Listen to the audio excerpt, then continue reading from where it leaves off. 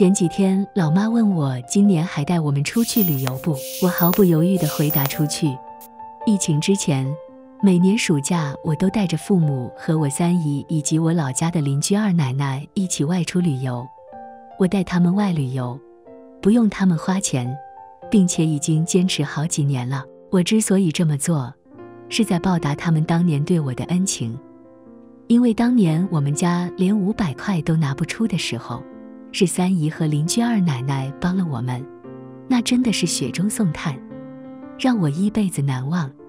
今天写的是我的真实经历，真的是一块钱难倒英雄汉。每当想起那年父母为我凑学费的情景，我的心里都特别难受。借钱时的那种屈辱，我一辈子不想再面对。我的家乡是在山东半岛的丘陵地带，是个典型的北方山村。当时没有任何经济作物，当地人只能地里刨食，收成全靠老天爷。可以说，在二零一零年之前，我们那里的收入只能够温饱，在没有多余的经济收入，几乎家家户户都过得紧巴巴的。我们家除了种点粮食，一年到头所有的经济全靠猪圈里的两头猪，猪也不能喂多，因为没有多余的粮食。这种经济窘迫的现象，一直在二零一零年之后才有所改善。当地都种上了苹果，依靠苹果脱了困，总算过上了好日子。我有一个哥哥，比我大九岁。我们家孩子不多，但日子过得格外艰难。母亲由于身体原因，一直到三十一岁才生下我哥哥。四十岁生下了我，母亲身体一直不好。干不了重活，五十岁之后更是经常住院，全家人的重担落在父亲一人身上，所以我们家的日子一直过得捉襟见肘。特别是我上初中之后，我哥哥那时候刚就业，挣的工资也仅够自己花而已，父母每天就像两头老黄牛，拼了命的在地里干活，回家喂猪。我还记得我母亲瘦小的身板。挑不起一担猪食，只能一桶一桶的拎。喂完猪后，他都要站在那喘半天，就靠着父母的血汗钱。哥哥读完了大学，我也升入高中。我上高二时，哥哥结婚，家里再怎么拮据，也得给哥哥办一场像样的婚礼。哥哥结婚，然后生了孩子，父母掏空了家底儿，甚至还欠了外债。此时有人劝父母让我退学外出打工，说我一个女孩子，读太多的书没用，早晚是别人家的，还不如早点打工贴补家用。况且大学不是想考就能考上的，特别是文科生，一个班才考上两三个，大部分还不是落榜回家种地。但父母没理会那些人，因为在他们的观念里。想要摆脱这种面朝黄土背朝天的日子，只有好好读书，考上大学才行。父母反驳那些人，能不能考上那是我闺女的事儿，但让不让她念书，这是我们的事儿。只要我闺女有那个本事，她上到哪儿，我们供到哪儿，哪怕砸锅卖铁出去讨饭，我们也愿意。高三上学期，我父亲生了病，几乎失去了劳动能力。父母种不了地，只能专心喂猪，收入锐减。就是在这种艰难的情况下，我高考过了本科线，被当时的山东经济学院录取。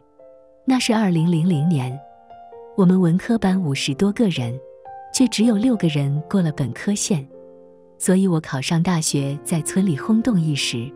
父母那些日子，无论走到哪都会被人恭喜。母亲有时会拿着我的录取通知书向邻居们展示，脸上是说不出来的得意。可是只有我知道，白天他们是多么的得意，晚上就有多么的难过。让他们发愁的无非就是学费。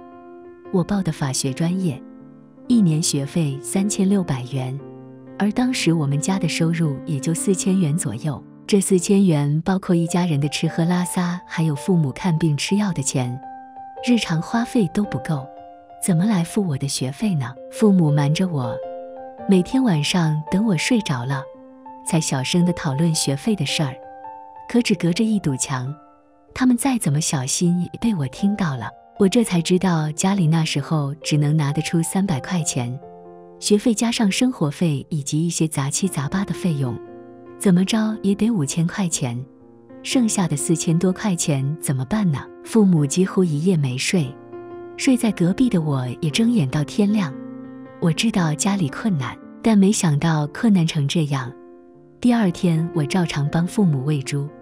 那一天，母亲就到村里关系要好的人家家里借钱。那个年代，家家户户几乎都差不多，更何况有的人家过得甚至都不如我家。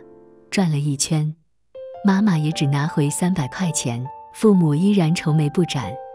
夜里，我听父母在小声的商量。父亲说他想带我去找找爷爷，母亲反对。母亲说：“爷爷是一个自私的人，更何况现在爷爷的钱是小姑在掌控，估计借不出来。”父亲说：“我们是去借而不是要，可以打借条。”他想带我去试试。终究是亲孙女上大学，我长这么大只见过爷爷一次，那时候我只有五六岁。我爷爷是老革命，只不过他跟奶奶早就离婚了。在外面又有了新的家，爷爷比较自私。有了新家后，老家的家人他一律不管，包括自己的父亲。我的老爷爷是我父亲兄弟四人伺候死的，爷爷没管过一天。他们兄弟四人也是奶奶和老爷爷带大的，所以我们家跟爷爷平时没什么联系。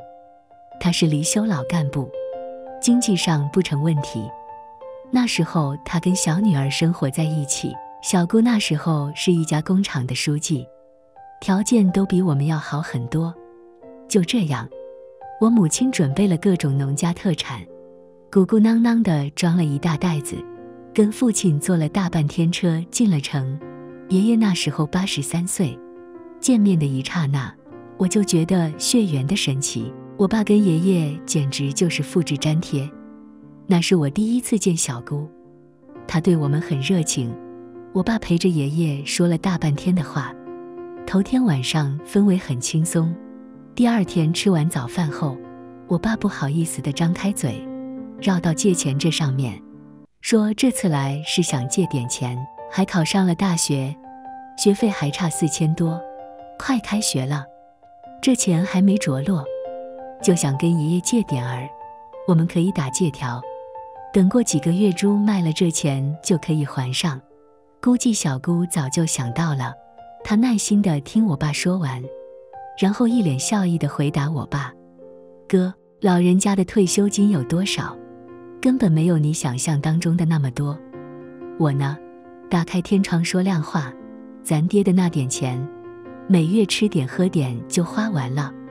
反正我是这么想的。”老人家一把年纪了，吃过苦，受过罪，好不容易过上好日子了，绝不能让他受委屈。他的那点钱每月全花到他身上，所以根本没有多余的钱。至于我，你也看到了，我一个离婚女人，还带着一个孩子，能把家过成现在这样，已经不容易了。别看我们在城里，日子过得比农村好不了多少的。要不你再想想别的办法。小姑的这一套说辞糊弄鬼呀！爷爷是一九三六年就参加革命的老干部，是离休人员。他那时候并没有什么病，连药都很少吃，最大的花费就是吃点喝点，每月吃喝就能把工资全部花完，典型的欺负我们农村人没见过世面。我爸一听就有点着急，跟小姑重申我们世界不是药。到时候会一分不少带利息的，还给他们。可小姑还是笑着说：“确实是没钱。”而爷爷在旁边也是一声不吭，任由小姑满嘴谎话连篇。我的心也沉到了谷底，知道小姑只是不想把钱借给我们，因为她知道我们老家有多穷，她怕借钱给我们是肉包子打狗，一去不回。父亲无奈，只能带我离开小姑家。这一趟，小姑只给了我们两百块钱，她一百，爷爷一百，相当于给我考上大学的红包。回家后，我爸偷偷的哭了。我知道爷爷和小姑彻底伤了他的心。后来我听爸爸说，他没想到小姑和爷爷竟然那么绝情，一分都不肯借。后来我妈妈想到了一个表姑，他们家当时一堆烂事都是我父母给解了燃眉之急。表姑也屡次跟我们家表示，有什么事可以找他们。我妈就想找他试试，因为他们家开商店，算是我们那里的有钱人，借钱不能空手。表姑爱吃我们那里的喜饼，我妈就烙了好多喜饼，让我们带着去拜访表姑。表姑也算是笑面虎，听我们说是来借钱，立马跟我们诉起了苦。哎呀，我们家哪有钱呀？你看我们家是开商店。可你们不知道的是，货款我们都是先赊着的，外面我们欠着好几万呢。我自己过得焦头烂额，还想着去哪儿借点钱。二哥，真的不好意思，这忙我无能为力呀。要说借钱，你应该找你儿子呀，他法院上着班，找几个同事就能凑齐的。你找他去呀。父亲讪讪地笑着，儿子也拉了一屁股债。自己都顾不上呢，都怪我没用，帮不上任何忙。要不两个孩子哪用过得这么辛苦？我哥确实是在法院上班，那时候正赶上法院集资建房，价格要比商品房便宜好多，但再怎么便宜也得十多万，家里帮不上任何忙。这笔钱全是哥哥嫂子费劲巴力借来的，他们俩那时候过得并不比我们好多少。恨不得一分钱掰成两半花，所以我根本不能指望他，他自己的压力就够大了。开学一天天的临近，我的学费还是没解决。我眼见着父母一天愁死一天，这期间哥哥给解决了一千块，还有三千多块钱没影呢。离开学还有十多天的时候，我三姨来了，得知我父母因为我的学费愁眉不展。他连饭都没吃就离开了，半天之后又回到我家，然后喜滋滋地给我们展示他包里的东西。那是一沓钱，应该有两千多块。三姨说，这是三姨夫去年赚来的工钱，一共两千三百块。本来打算买几头猪仔，现在用来给我交学费。我们都惊呆了，因为三姨家的日子过得比我们还拮据。三姨夫前些年学做生意，不但没赚着，反而赔了一大笔钱。这些年一直在拼命还账，吃的喝的甚至不如我们家。我妈心疼三姨，家里瓜果蔬菜成熟时，会让我爸时不时的送一些给他们。他们家根本就不在我们借钱的考虑之列，却没想到，最后是三姨主动借钱给我们。三姨说：“耽误什么也不能耽误孩子上大学。”猪仔他们可以晚些日子再买，但耽搁了上大学，可就再没机会了。看着那些钱，我真的挺有感触。我特别想抱抱三姨，而我的确也这么做了。我妈已经抹起了眼泪。从收到通知书开始到现在，我的学费终于见到了希望。大头已经解决，小头就不远了。离开学还有五天，剩下的一千块钱还是没有着落。我妈急得想去村主任家借借看，虽然没什么交情，但思来想去，也就他们家条件还可以。结果那天早上，我妈还没出门，邻居二奶奶就上门了。二奶奶每天都来问我妈钱筹的怎么样，今天得知依然毫无希望，二奶奶就跟我妈说了一句：“实在没辙的话。”把我猪圈里的那两头猪卖了吧，不能耽误闺女上学呀。二奶奶养了两头猪，但是还不到出栏的日子，没养到日子的猪要少卖很多钱。我妈一口拒绝，这是我们家的事，哪能连累二奶奶呀？可是二奶奶一不做二不休，回家立马让二爷爷把两头猪给卖了，然后把带着热气的钱送到我们家。就这样，在几家人的努力之下。我的学费和生活费终于凑够，后来几年的学费也没离开二奶奶和三姨的支持，依靠他们的帮忙，我终于大学毕业。大学里，我勤工俭学，积极的兼职，从大三起，我基本不用家里出学费，大四我就开始赚钱还债，毕业一年多就把外债全还清了。当时欠三姨和二奶奶的钱，我都付了利息，但是他们都没有要。从我毕业之后，我们家的日子就一天比一天好。我哥也逐渐还清了自己的债务，嫂子也有了自己的事业，他们出钱把我们家的房子修葺一新。我每次回家都拎着大包小包，我父母彻底在村里扬眉吐气，吃的喝的穿的都不是村里那些人能比的。我每次都会去看看三姨和二奶奶，给他们带礼物。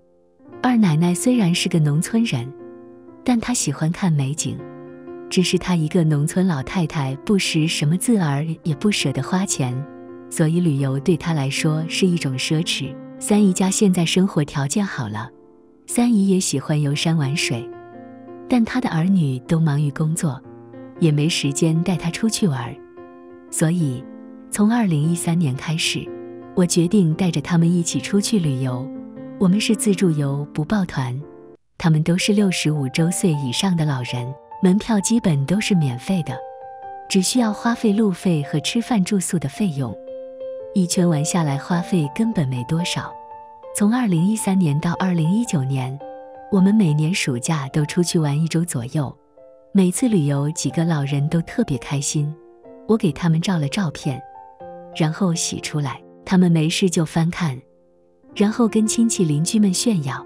特别是二奶奶，每次都在村里炫耀。说跟着我沾了大光，而我父母每次都说，这是应该的。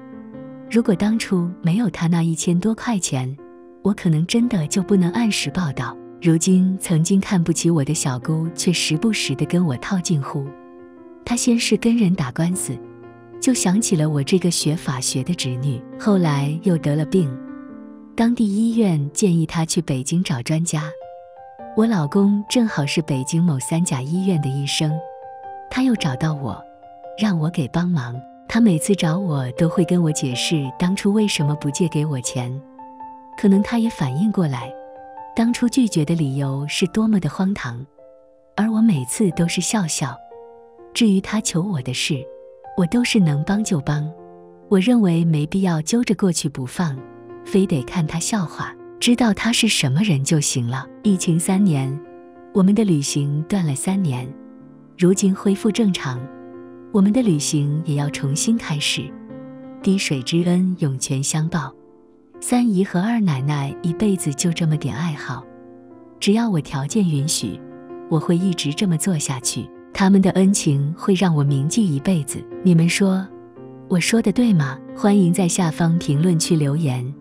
同时，也不要忘了点赞、订阅、关注我。